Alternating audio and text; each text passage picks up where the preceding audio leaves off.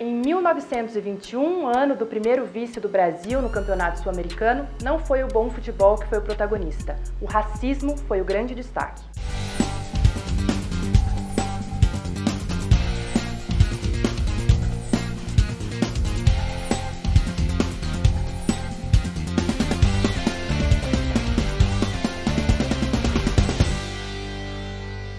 Depois de dar vexame na primeira edição do Campeonato Sul-Americano, a Argentina quis se redimir neste novo torneio em sua casa.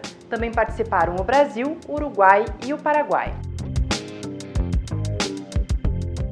Infelizmente, o que ficou marcado não foi o desempenho dos jogadores, mas o exemplo de racismo no futebol e na sociedade que esse campeonato trouxe. Para entender um pouquinho melhor essa situação, a gente tem que voltar no tempo. Em 1916, a seleção brasileira fez sua segunda viagem à Argentina e um dos jornais do país retratou os brasileiros como macacos.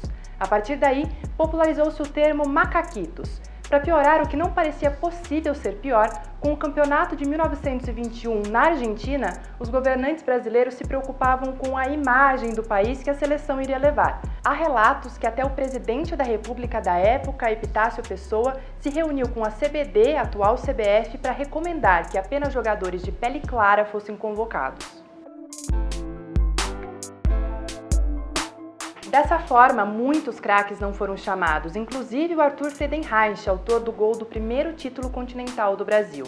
Nossa seleção não conseguiu superar o ótimo desempenho dos argentinos e conquistou seu primeiro vice-campeonato. Os hermanos, por sua vez, terminaram com 100% de aproveitamento e nenhum gol sofrido.